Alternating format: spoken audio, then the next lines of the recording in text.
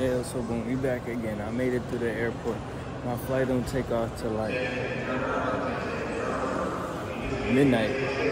Should stayed at the crib. But um now I gotta figure out where the fuck my plane is gonna fly out from. Cause my shit now gonna take off at midnight, so I might as well just find somewhere to camp at. Probably get wasted, come back by the bar, get drunk. What the fuck else is there to do? Anyways, let me take this bar, um, take this menu. Peace.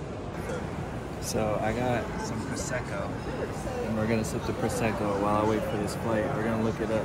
I'm not sure whose hotspot, but I got my own hotspot right here. And this is a great part about having a VPN. It's time do this. So I'm gonna say cheers to you, and um, we're gonna double back when I get a little bit more chance to see what's going on with my flight.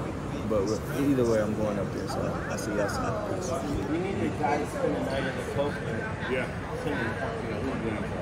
Heard of that. And they're like, whatever. I don't want Ah, I won't fuck to with do you. that ever again. Ever. yeah. Yeah, when I, when I EOS came out, it was like, Come on with this study the whole around. This is a great chance for me to just study. That's what I'm gonna look at it as. Fuck it, let me get the highlighter out. Practicing. I'm off the Prosecco, but I do got some of them yeah, it means in my bag.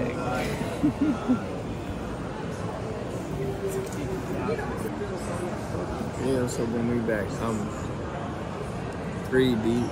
So with three deep, damn bro, hold up.